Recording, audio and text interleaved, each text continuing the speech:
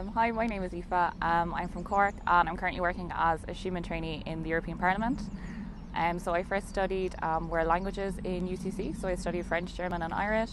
Um, and then I did a Master's in International Public Policy and Diplomacy, also in UCC. Um, and I'm currently based in the Interinstitutional Relations Unit, which is in the Director General for the Presidency.